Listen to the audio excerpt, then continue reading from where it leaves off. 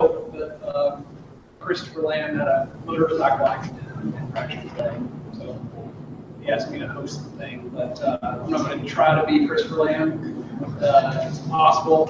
Uh, so, but I do want to just introduce uh, Justin Bennett, who's going to uh, have our talk today. And uh, thanks again to Solward for uh, allowing us to be here. It's a great place. So without further ado, Justin.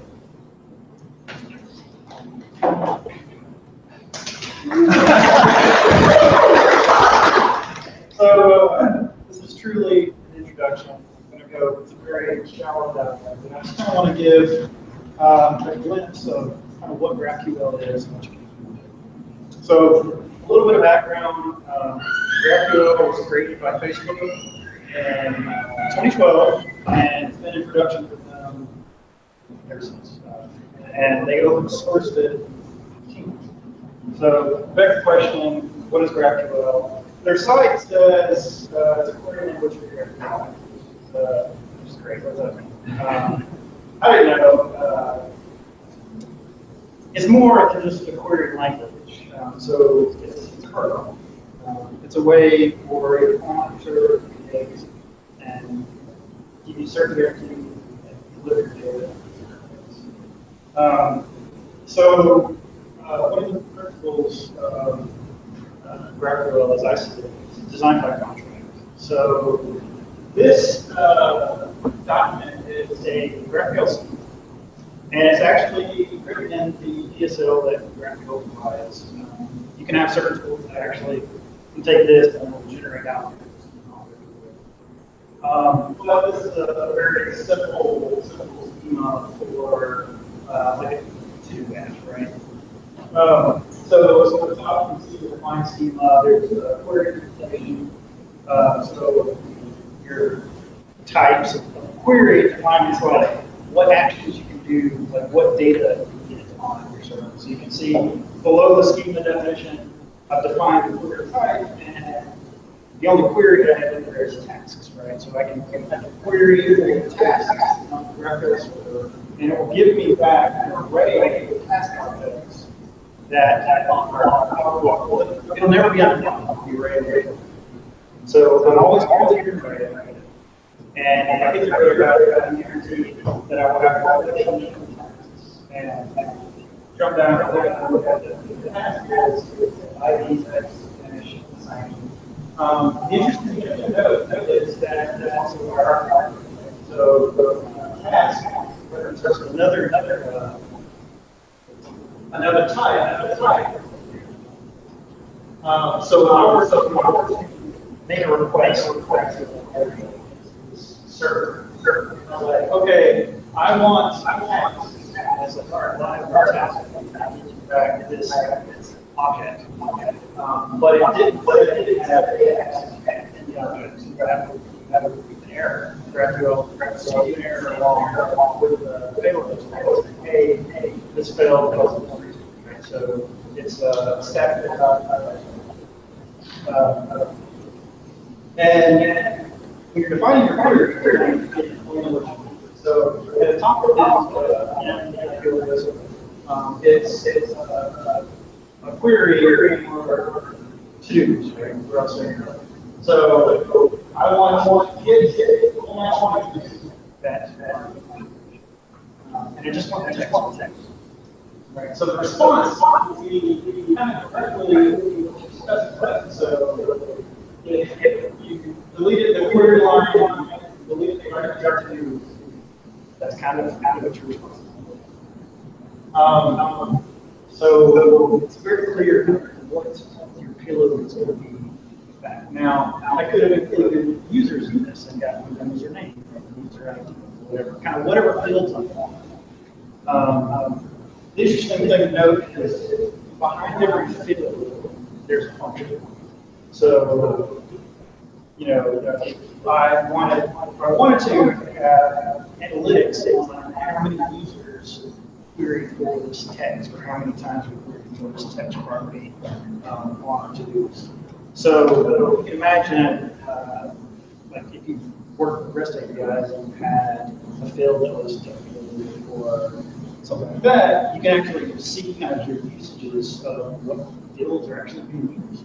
Um, and then make adjustments based on that, or you know, definitions. Um, so, brief, like, insight into what, uh, will set up my work. So, um, your clients, uh, could be whatever, an iOS app, Android app, JavaScript, whatever.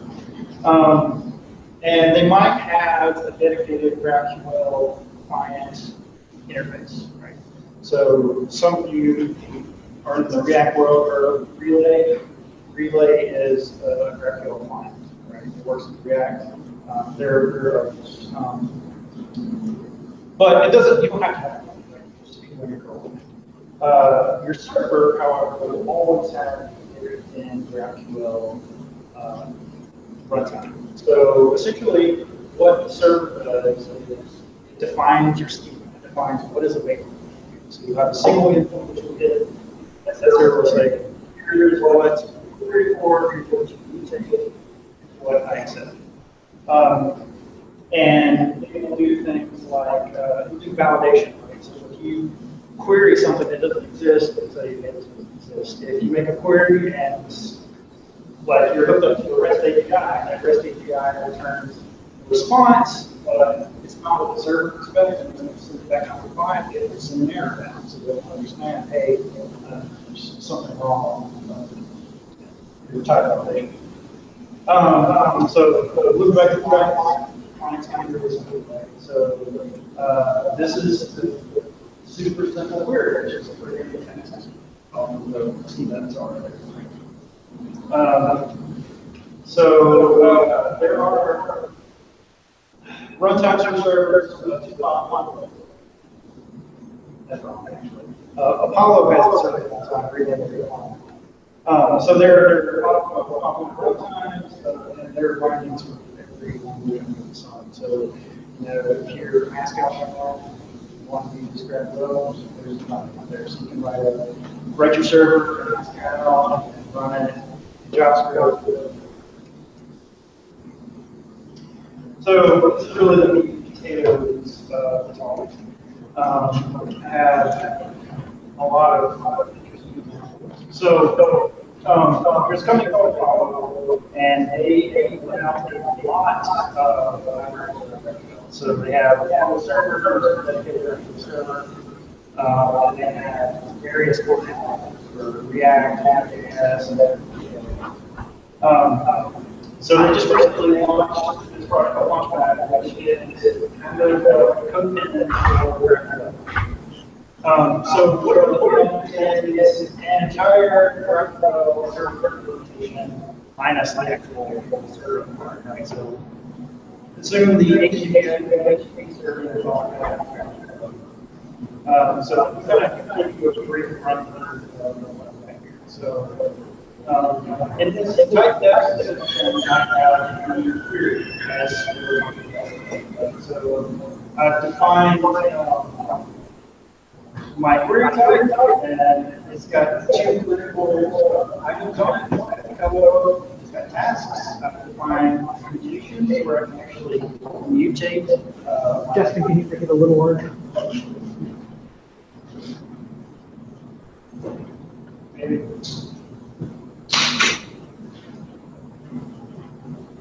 Cool. Thank you. Um, so as I was saying, I've got I'm a mutation, so I, I can call add task and actually modify available to me. Um, I've got a definition for task, um, like required, uh, and a definition. So every server will have a schema, right? The schema is the contract that says, here's what you can query for, what you can do, here's what I would like. Uh, and then how the server gives the client back information or how it gets information is by resolvers. So resolvers are functions that data. All they are. Um, so if we look at the top level resolver object, we have this query object, which maps directly with the type query and schema. Uh, So I have, uh, variable, variable property of flow, um, and if I, it returns. So if I ran this, um, query hello, and it returns hello world, right? So based on the type, hello returns string, and you can see that. So if I were to required, and say, you know, turn it off, that's what that. Um, it, returns an error message that pointing to kind of what what's wrong. So never return field null, non-null ability query upload. So it's uh, really nice for debugging your APIs, like why is it breaking, what's going on. Um,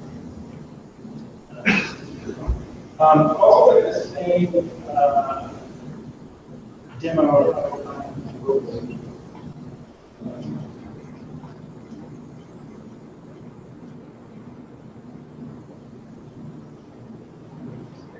Show off um, tool Graphite Law. So um, this is something that pretty much comes with every GraphQL server implementation that I've seen. Um, and it's a bit like it, so it like shows you what's available to me as a user of this API. If I go to the document.org, and I can see the so I can see what you're doing. So can click the query here and oh, well, I've got this hello thing, I've got this task. Hello, return query. And task, return this task. So I don't know what that is, what it can possibly be, right? Um, and you can also document clearly types. So if I were to come back uh, to my action scheme, and put a comment above this hello. Can I know what I'm saying?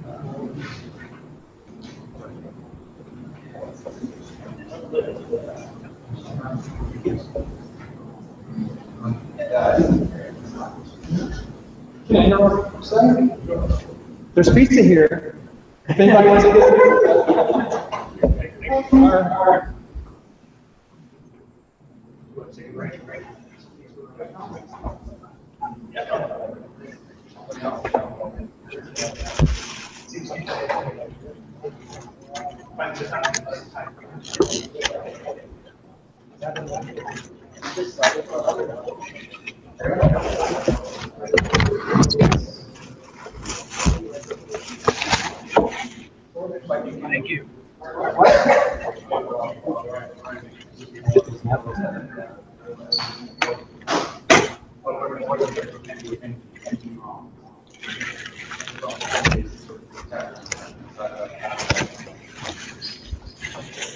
Intermission, intermission.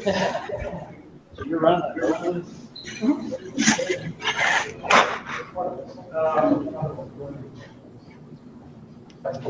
So, uh, on Launchpad, you can actually download, fire up your schema and your developers and have your whole little GraphQL working. You download it, the file, and it has kind of this whole look. It's good for demos or run out, noise.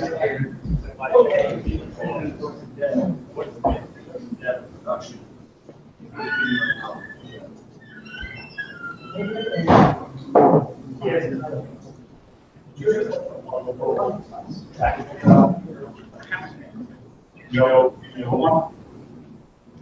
Because I know.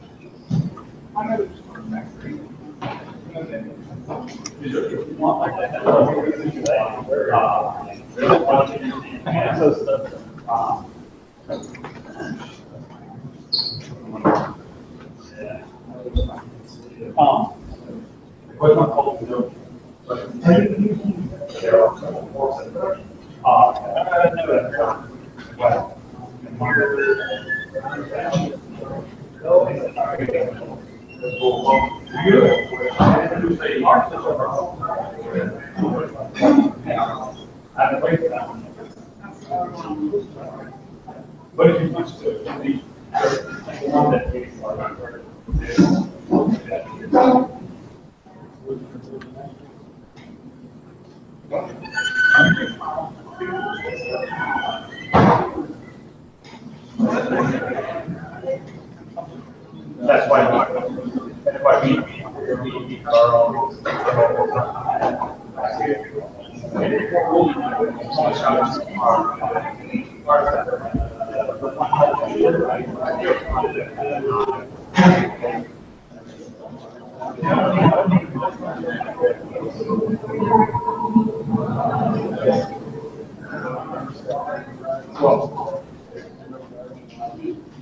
So, using a local. Well, if you look at the data, As far as. At least. Not fifty, exactly. but this one is. It's like,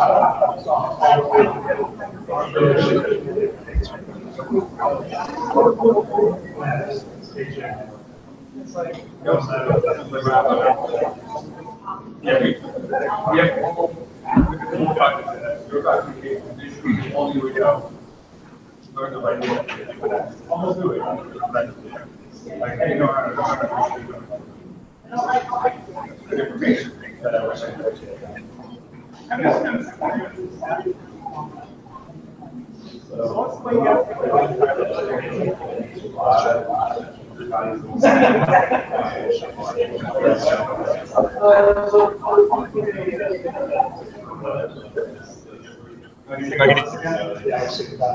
one right now.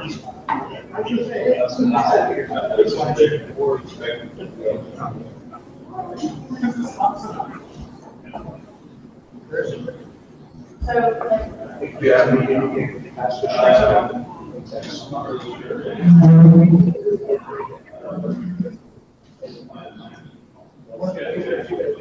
here's the next. All right, you, uh, uh, Judy. Before, after. Wonder how those centers. Someone do Thursday.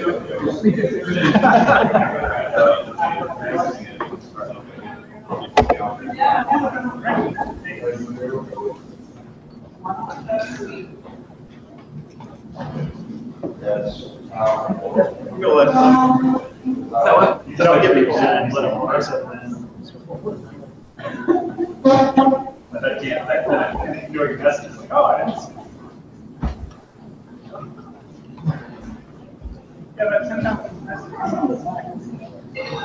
Yeah, but. Ten thousand.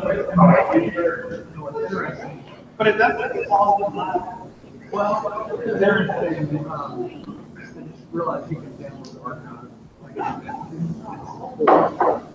It's not a very big deal to get that. Wait, is it, it isn't, so you can.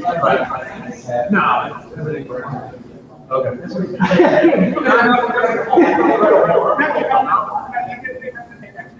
That's right. Yeah, the baseball, I mean, uh, I mean, Like if it's, you know, there's a way to get. Yes, because I, they were gonna stream this live. Yeah, like it's pretty long too. So these don't come down. The house, got it set in.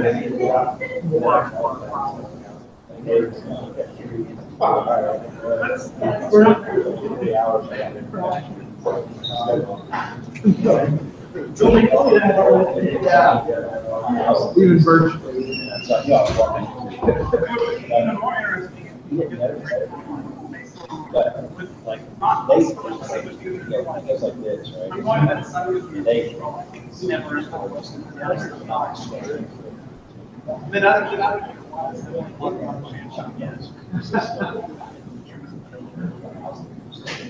Then other. No, no, I'm. Well, the question is, uh, I think it's higher energy. Yeah. There's problems, you know,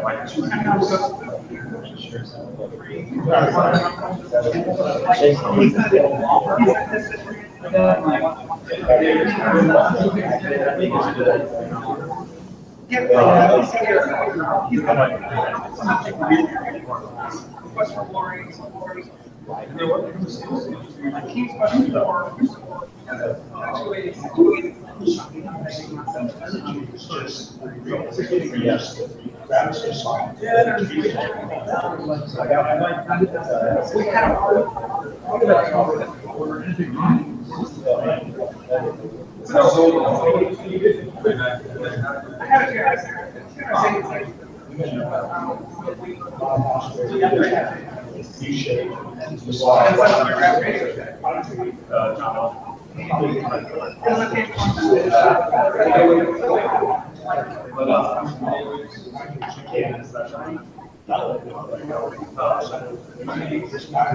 sort of-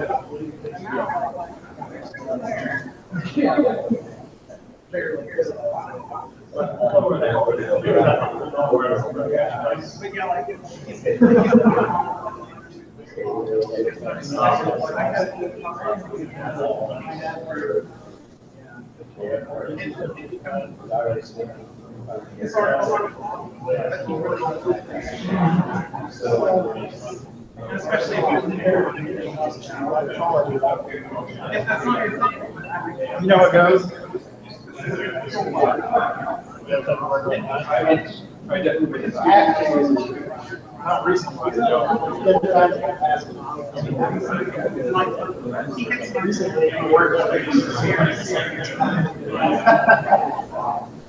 We do or like, but it's just know, it- start back up.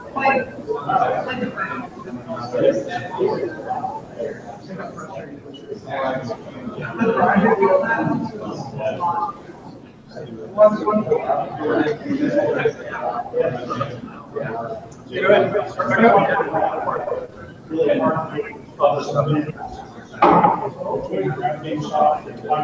folks, I'm gonna start back up. So, uh, leave, where I left off. You can document parts of your schema, uh, with comments. And, uh, via distributed will allow you to use that in your interesting ways, right? So, um, this uh, is query builder. Um, you can see, uh, it's got every type of schema, uh, the server can use. Um, completion also gives you the documentation for, uh, whatever field you're trying to run. right? So, add a comment, return hello world, hello, uh, query. uh, and you can see the, the uh. I'm not sure why it says open document here. Uh, I think that's been just a bug for Launchpad. Um, the same thing you can see in the, uh, GraphQL documentation explorer. So if I click through, uh, and I click on, um, hello, it'll actually give the documentation for, um, that field. Granted, you know, you can put a lot more in there.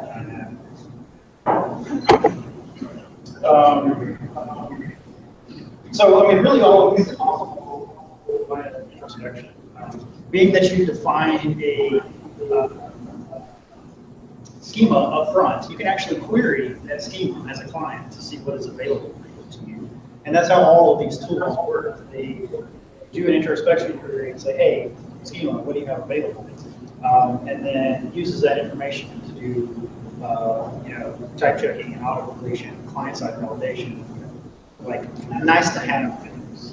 And the, and the schema doesn't have to be mapped to anything physical either. Right, right, So right. Yeah, yeah, it's- I mean, the schema is just a definition. So, uh, GraphQL doesn't say anything about where the data comes from. That's, that's a really important part. So, um, for this schema, I have this set of functions. And anything that you can do in a function, you can, uh, provide to GraphQL. So, I'll show an example in a second for something that I'm working on at work where I have combined multiple REST APIs into one uh, GraphQL interface. So I combine things like Jenkins and Jira and Bitbucket all into one API so that we use that to have an easier interface for SQL scripting. Um, so, uh, the real queries, like, uh, like this hello, are, are relatively simple, right? So I've defined, uh, this root query of hello, which returns a string, you know, uh, and as expected, returns a string. Um, task, uh, is a little bit interesting. So it actually returns, so it's not, it's not a primitive, it's the type that I've defined, and it has different fields in it. Um, um, so, so when I, when I, I'll just, I'll just do it over here. Um, uh, no, or no, uh, you can always have to, uh, include at least one, um, or, or, yeah, you always have to have one field on the root node of the query, right? So, so tasks have many properties, had to include one of those properties when it's queried, or what we return. You always have to return something. In this case, probably won't, you probably won't right? Um, so I'll do it from the query, uh, and I have, um, so really, if I was going to actually go into that, I really want, uh, is this task finished? Okay, Great, great. Um, so I can see now, um, this, this string here would be a string, is what you would send to the servers to get this response you be, uh, on the right. Now, you're like, okay, well, that's great. Um, you know, maybe I want,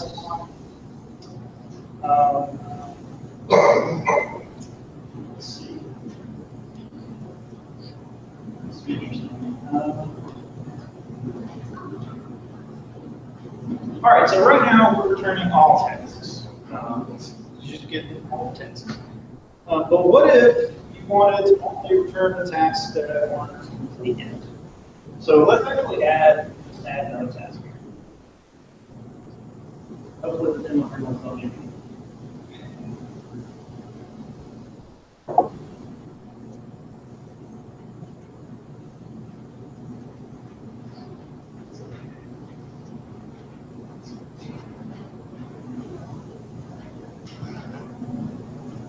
All so I've added another task, a list of tasks. You can see your task list updated. So I've got, I've got two tasks in here. One has pizza pizza, one has drinks beer, one's Spanish pizza lunch. Um, but when I do this query, I just want to query what's my, what's my finished tasks. So you can actually add arguments to your tasks, but this will, uh, this will require us to update our schema a little bit. Um, so when we're querying our tasks, maybe we say, uh,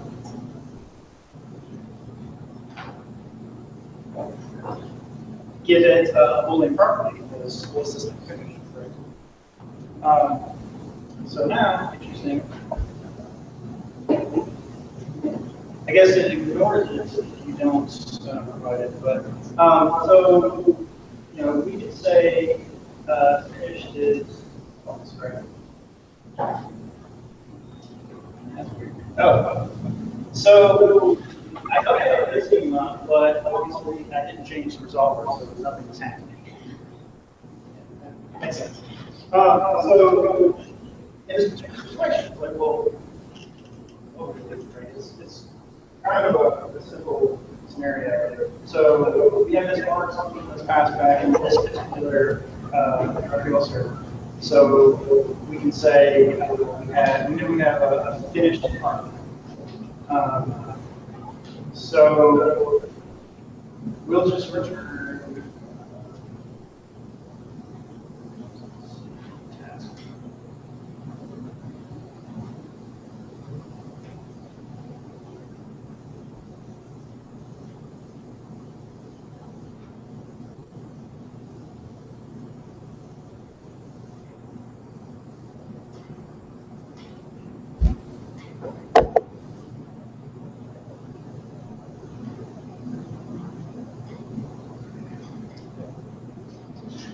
All right, so uh, we so it filters out whatever uh.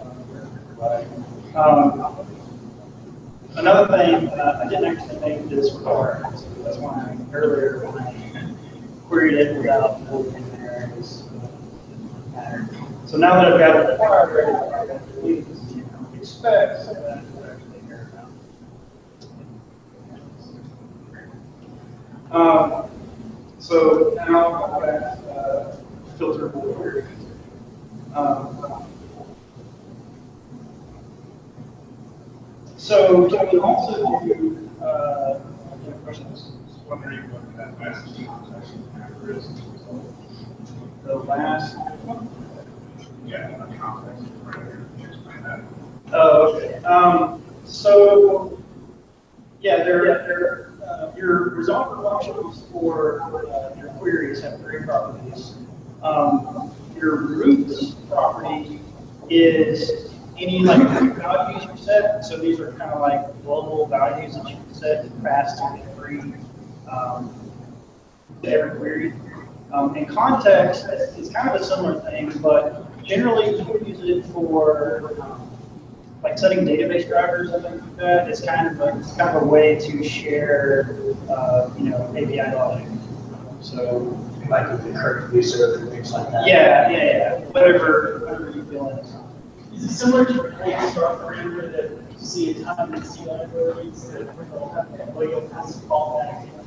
It's starting from all the cars, all the stuff. Uh, are you talking about context or just the callback? Context. Um, Like, is this is the started? I don't think so. I think it's an object that you can. uh, It's like a global property.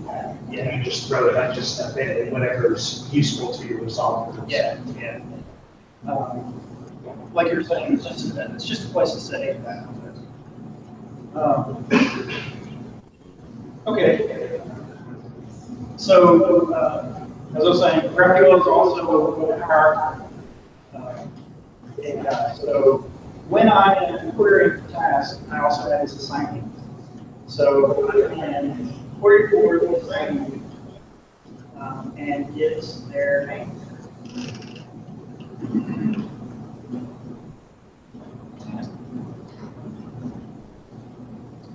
So, um, when I'm returning task, task is just returning whatever I get to, right? So I have this method create task.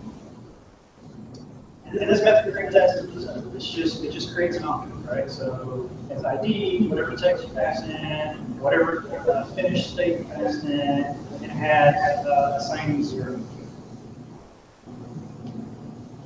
So it's always returning zero. GraphQL so it's like, oh, this is the thing that I expected, so man, uh, I'm just gonna know, return home. Um, so I mean, it's important to note that if you expect something to be present, uh, to you know, define it as required.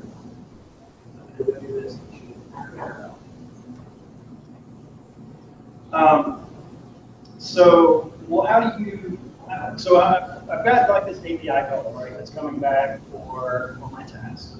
And it's defining the user ID, but my user is in a different place, on a different REST API, somewhere else. I gotta do something else to get that. So, so how do I do that? Um, I mean, granted, you always make, uh, your query method really, really fast. You can just keep adding stuff to that query function, but you know, that's not. Um, by default, how the resolver functions work is this returns an object, some object, and all the parameters that you specify via your schema, it just tries to do a property access. You have this property, all right, to return that. This property, oh, this is null, unless I've said that it can't be null and not error. Um, but if you want to do something special, there's a way to handle that as well. Um, so you have uh, a special query for your, data or a special resolver.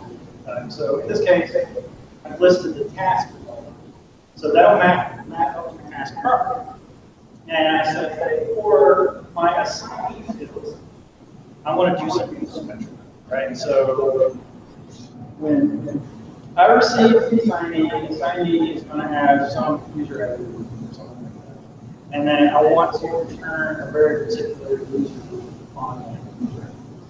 And honestly, this is supposed to be working.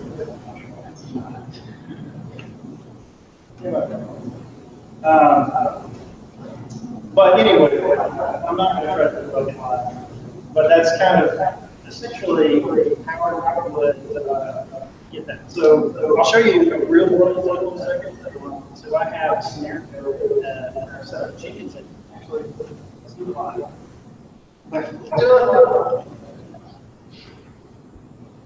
All right, all right. Let me see.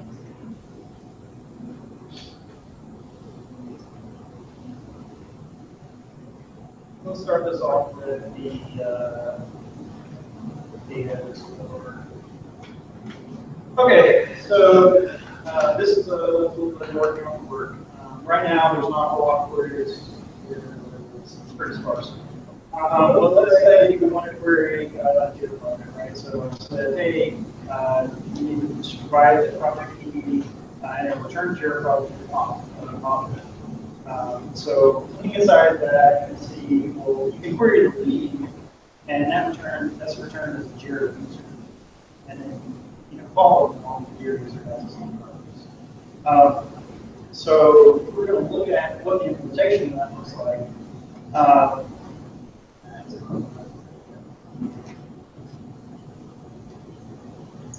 What is the GQL backtick? Is, Um, so, yeah, this is actually, um, uh, an ES6, uh, kind of semantic sugar for, uh, just calling a quick string, um, string rule.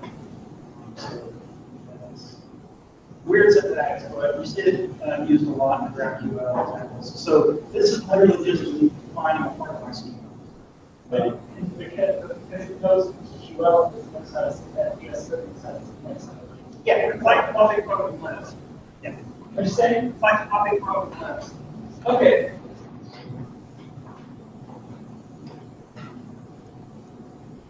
I'm gonna switch my camera a little bit, but, yeah.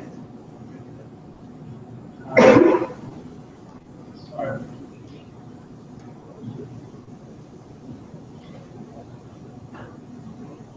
Oh, my,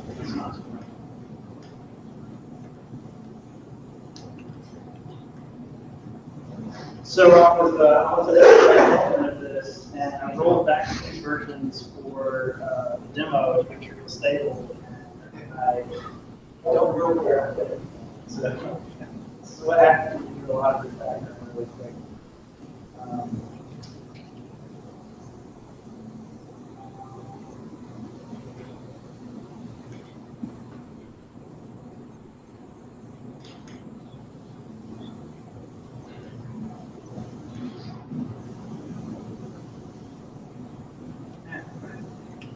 Uh,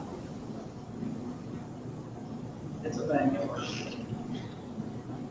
Um, so, yeah, yeah, going back to that, uh, you can define a, um, you can define a, like, custom resolver, and you can have custom things, like, you can say, for these fields, I want to do something special, right? So, again, I mentioned at the, talk, it's like, well, if you wanted to say have analytics on each of your resolver methods, on this particular resolver methods, you know what to do, uh, you could actually just look for analytics module needed to this function, like maybe this assignee field. So maybe you're doing some research, it's like, you know, on my I think we need to stop supporting this field for X, Y, Z reasons. What's the usage of it? Um, so, I mean, I could really easily get that information by just saying, wrapping some analytics calls, like, hey, this is, this field is being called X times, whatever.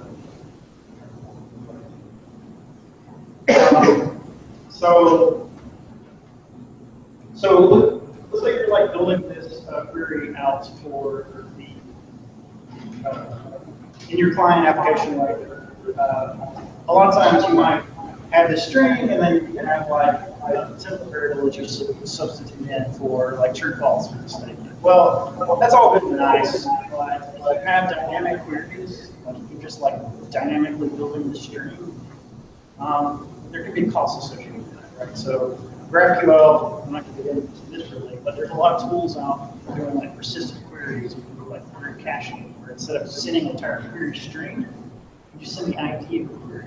It also gives you a lot of staging for your application, so you don't have to worry about like query complexity, because that's an absolute thing, right? You had an infinite object nesting, somebody just like kept going like deeper, and deeper, and deeper, and deeper with uh, query calls.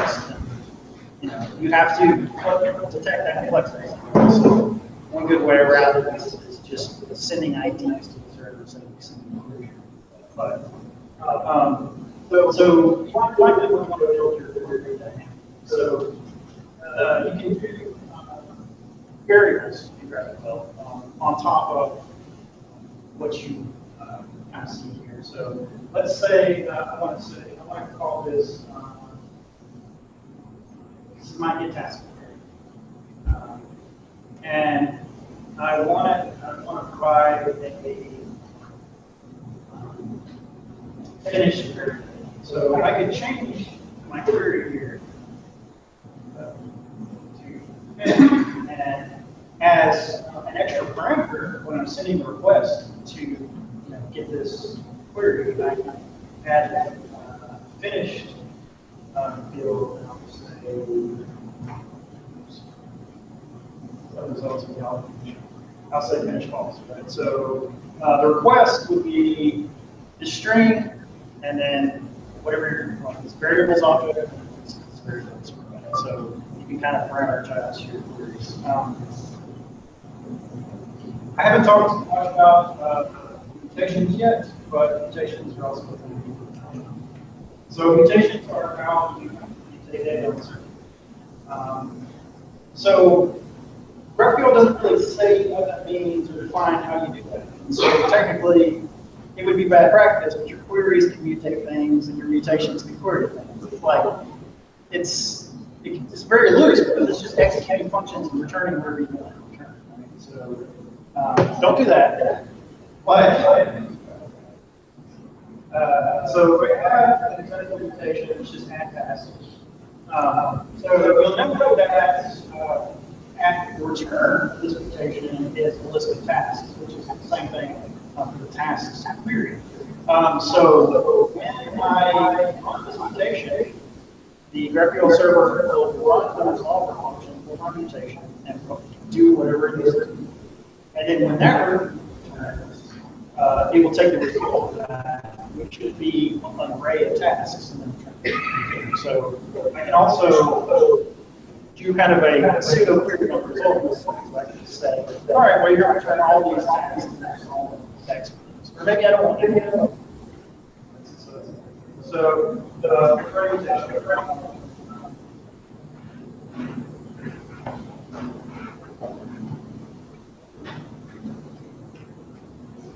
So I'm, I'm naming uh, the mutation. You don't necessarily have to do that. You can erase it as a right. But in, if you ever actually GraphQL, pretty much all your queries and get um, You have to do that if you're running multiple. Um, and also, it makes the uh,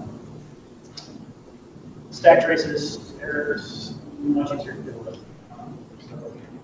So- in this, uh, on the add task mutation, um, the text,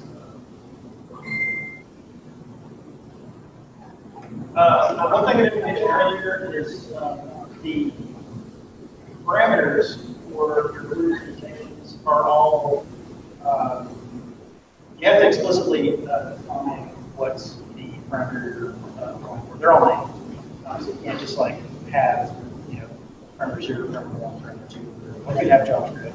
They're all named. So if I just erase this, say, uh, store, or most um, so, again, is going to return a list of tasks, so just like query text.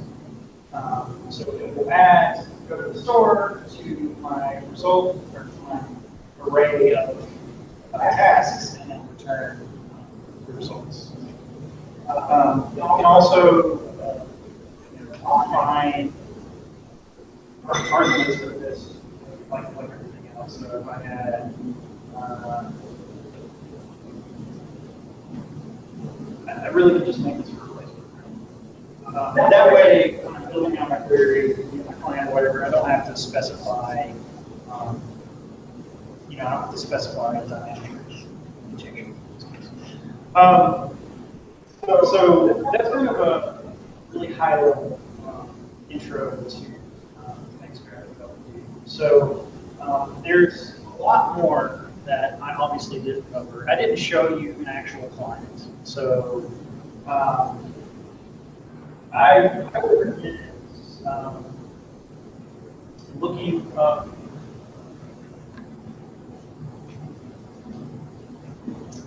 dev.apollodata.com. So Apollo, like I said, is a company who uh, is building uh, tools for um, GraphQL kind of specialize in. Um, so they have examples on their site of using GraphQL and Apollo together. Um, Apollo being uh, client React binding GraphQL um, to build out um, an app.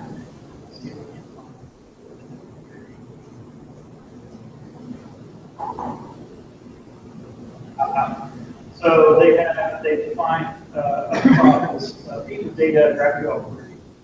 Um, so this whole section here is their GraphQL?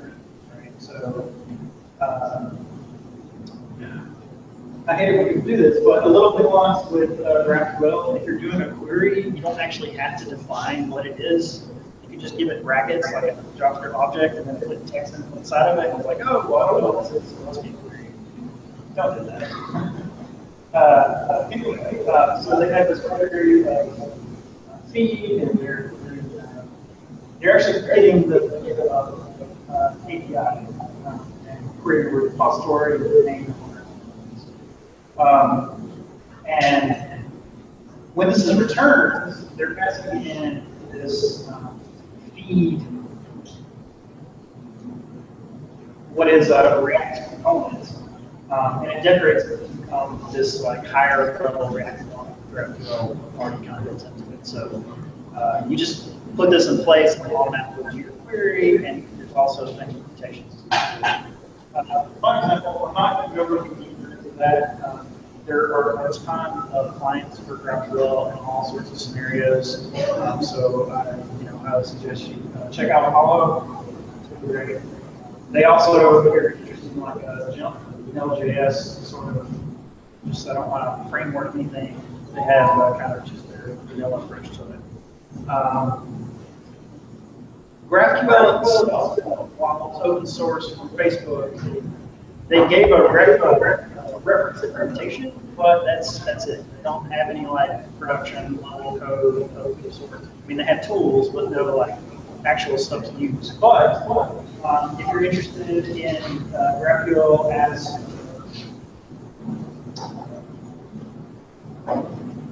if you're interested in you know, how GraphQL works and about what it does, uh, you go to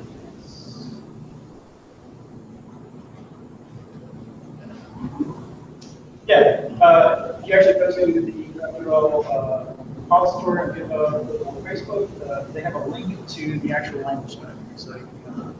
Uh, it's, it's pretty interesting. It talks about how uh, some of the types of stuff uh, handles introspection and stuff like that. Um, GraphQL itself also has uh, its own site, uh, and I highly recommend that. Um, it kind of, you know, goes through the basic stuff, um, but it gives you a lot of information about um, the language itself, like builds and. There are even things that I didn't really cover, like um, fragments. So you can define a reusable piece of a query and plug that in. So this is pretty much how Facebook does all of it. So just like of all other all their record components are built off of uh, fragments. So um, yeah, there's a ton more information out there, um, but that's pretty much all I have. Are there any questions? It's interesting. Um, The ChatGPT is a pretty set, set of, so if you, in your example had, you had a task and an assignee, if you wanted to change the assignee, for example, or change the name of the assignee, whatever, uh, any mutation would have to start from the, the top of the hierarchy and give you all those specific pieces all the way down. Yeah, I think, um, don't hold me to this, but I think you also do, uh, you also do nested mutations. Um, I just, That must be new, because I, I don't remember that. yeah, I haven't, I haven't experienced it myself. Um, also, kind of depends on your GraphQL implementation that you're using, right? So, so Facebook just released a spec. Um, so there are tons of different implementations out there. Apollo is the one that I use a lot just because it's really well documented. It's straightforward, but if you use any other language bindings, um, you know, you might have to do something custom and they handle different ways, right? So Apollo has a good story around action, around, uh, kind of, not, not anything in replace, right? It will, if you're making multiple concurrent requests, match those all together, and just send an array requests instead of like, do a request, do a request, do a request. Uh, so, uh, the stories for things like caching and performance really in general is just kind of dependent on the implementation. So if you're looking at this for a production level application, I would just say, you do a lot of research because um, it's very powerful, it's very flexible, but because they don't walk around long enough to have a lot of, you know, corner cases and everything like really well documented. So um, just be aware of that. Uh, and also, I guess kind of last thing, um, GraphQL, uh, GitHub has a, a GraphQL API that uh, it just pulled out of developer preview, it's an alpha now. Um, but you can put on and add a, uh, you know, GraphQL uh, Explorer, so you can kind of just, I don't know, toy around with their, uh, their API. There's really a lot. Check that out. I think it was a training on Hacker News today or something. I think they officially announced it today. Yeah, yeah. Well, I mean, it's been open for a while, you can access it, but it was just something developed for you, so. Had to get there some. So goal wise.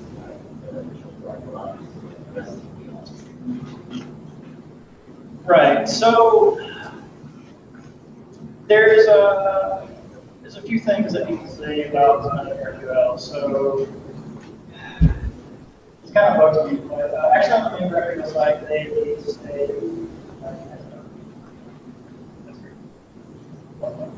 Oh. Like the edge. Justin, please. What? Maybe that's. That's you. Yeah, I know. It's like- And we're gonna. Yeah, yeah, sure. Well, that's. Um, so he's actually,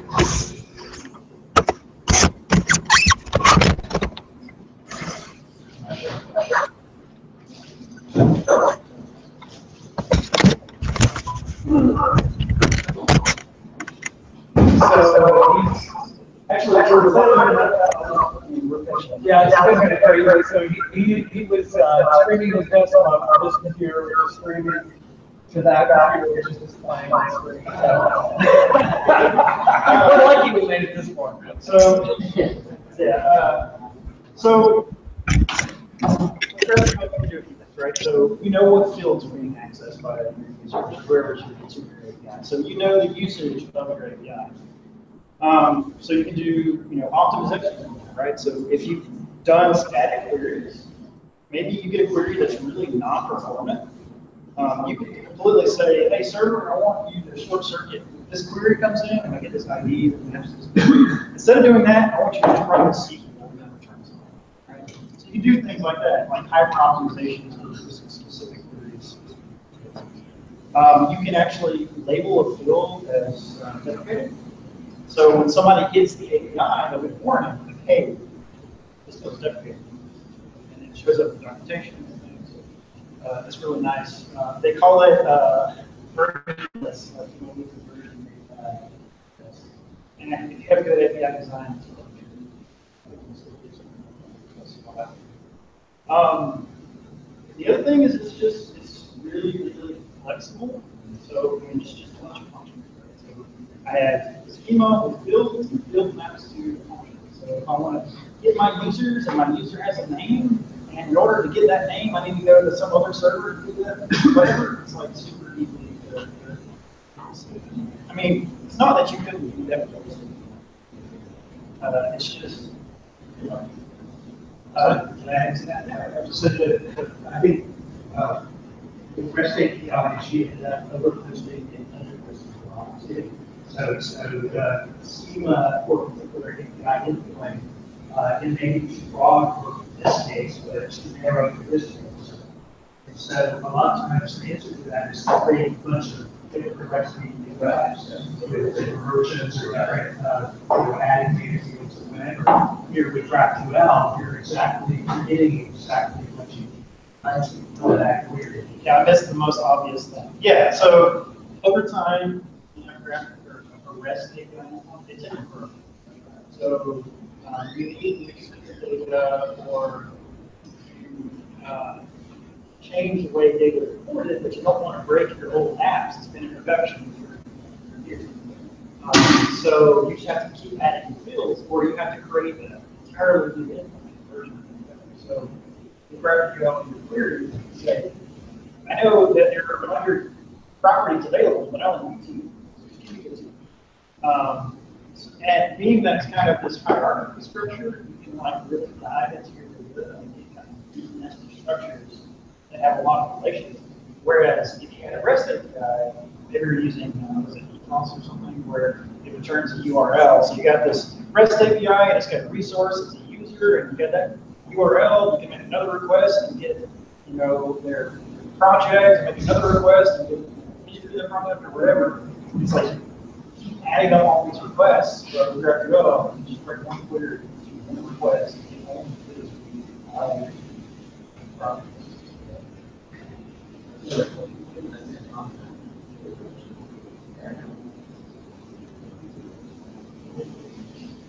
Yeah, uh, I mean, You can extract, uh, I think it's queries, right? And then you can look at your queries and decide, okay, well, you don't want to send if you're one block. Which, which, that's the cool thing about GraphQL, is you can do that behind the scenes. Or you can optimize particular queries, so if you know that you're having to bunch of things in this and I can have a schema uh, behind the, behind the scenes in the software, I'm, I'm actually doing that doing things, things like that, so that's more efficient. Probably stuff like that. Yeah, I think the, the really interesting thing is you can have one, one data source. So for, for what I'm doing for work, um, we have a commit, right? Uh, and we prefix our commit with our Jira ticket numbers. So when I do a GraphQL query for commits, it's actually querying, it's, it's hitting Git, it's actually running Git on the server and doing a log and seeing what all the, the commits are or whatever. Um, and then, you know, I can, I can query for a hash or, and then when I get that back, it has the string prefix of the Jira ticket. So I also have the Jira proper, the Jira ticket that's queryable on that. So I can query a commit via hash, and then I can get the ticket. So I can say, here's the get uh, commit message, here's worked on it, and here's the ticket description or whatever. Right? So I can make these relations on this one kind of one property uh, one object that normally. I mean, it's kind of a lot like foreign data sources and Yeah. relational database here. Yeah. Three same sort of integration.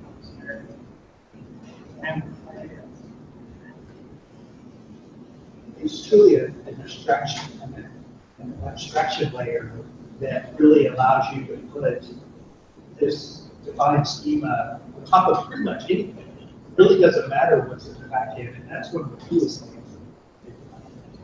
So you think about like on Node.js, uh, Walmart has done a great job of, of putting a Node.js front end on all these legacy systems they've got. And all kinds of, you know, maybe it's Java, maybe it's something else or whatever. Node.js, uh, uh, give them the ability to put a, a nice API layer on top of that, and I think GraphQL gives you yet another tool to even enhance that API layer.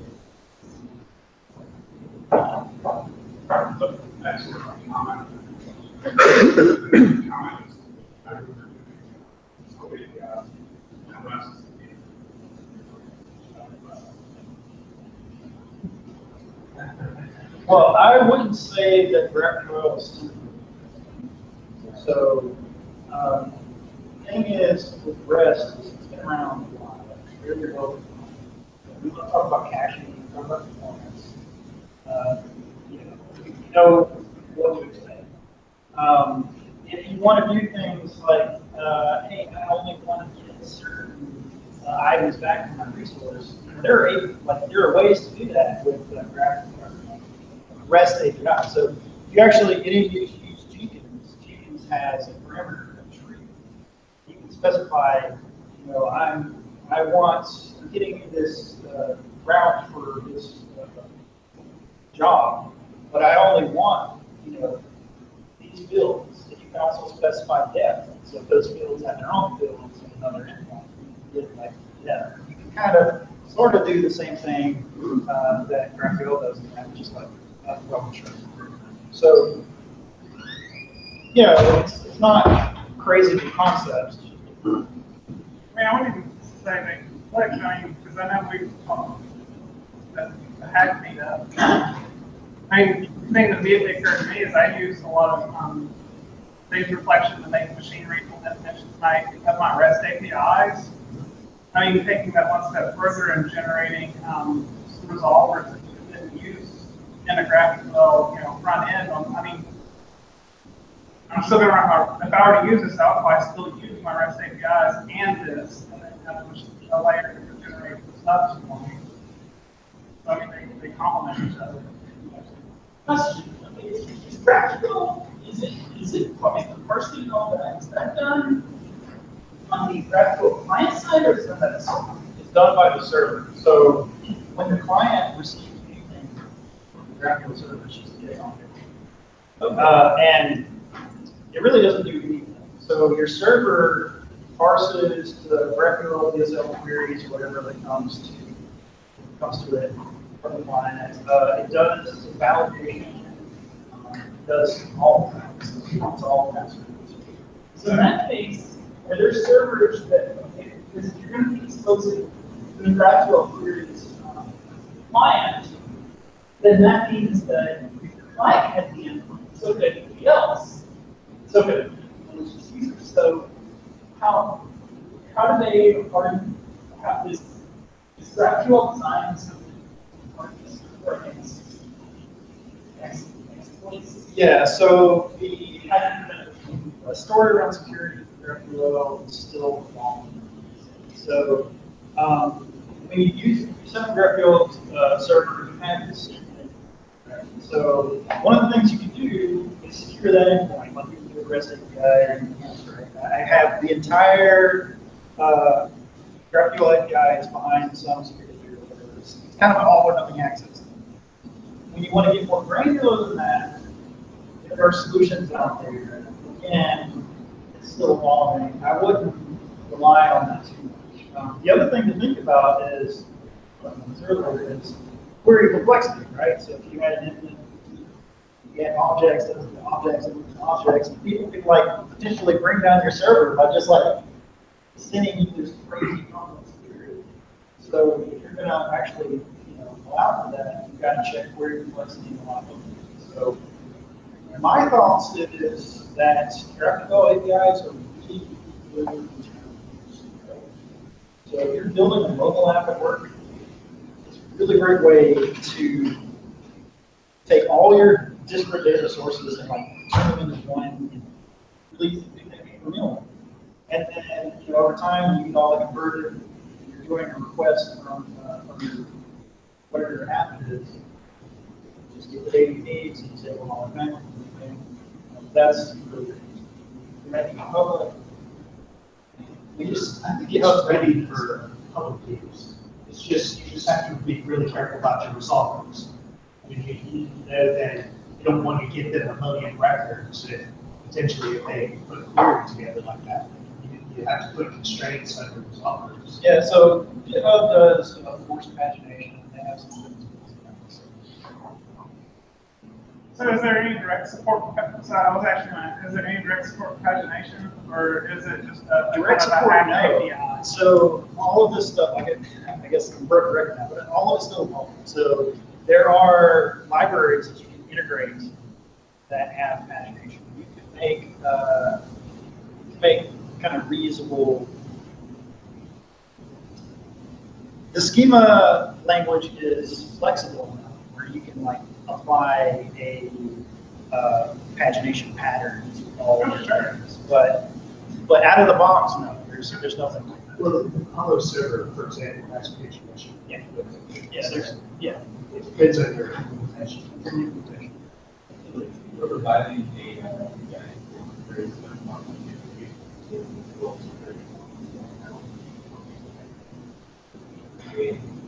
Are you, talking about, you wanted to provide security between each, like, field query or query? I mean, so I don't necessarily know. I mean, one option would be to provide different, you have like different schemas for different, uh. Sorry, my, and my understanding right now is the, the guidance is to limit, uh, user authentication, uh, user author- authorization in resolvers. So if you want to limit fields, if you want to limit queries, things like that, you would, that's where you use your context object. You know what the current user is, you know what their authorization is, and that's how you implement it. Yeah, I mean, you can absolutely do that. I, I just, so my thing is,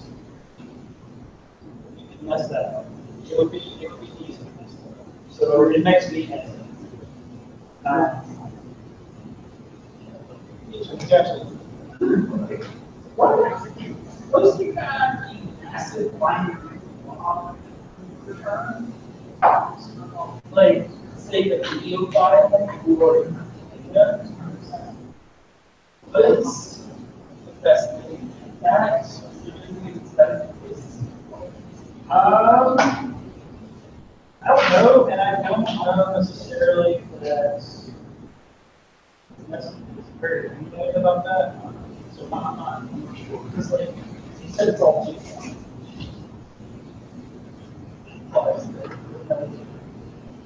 Seems like you probably did some kind of IT that you would call another internet section. Yeah, so it's, it's more, I don't think it's, that's necessarily. It Could lead up to it, but I'm not sure. Oh, uh, one other thing, they're working on, uh, there's a evolving, the spec is evolving, so they have, uh, subscriptions that they're working on, which is like, uh, real-time communication. Sort of. It's more like notifications, right? So, um, you can you can implement a subscription server, which generally is just like a closed-up system or whatever. Have your communication protocols, so it could be like WebSockets or something like that, and, um, you can emit, uh, subscription limits on certain, certain things happen, right? So maybe when, uh, you, like in your mutation resolver, some deal, just like, hey, this thing happens, I wanna push out a message to my on system. Amazon's notification service or something. That can send a, you know, a real-time update. Uh, it's cool. Go off into it. Anything else? Good? Cool. Thank you. I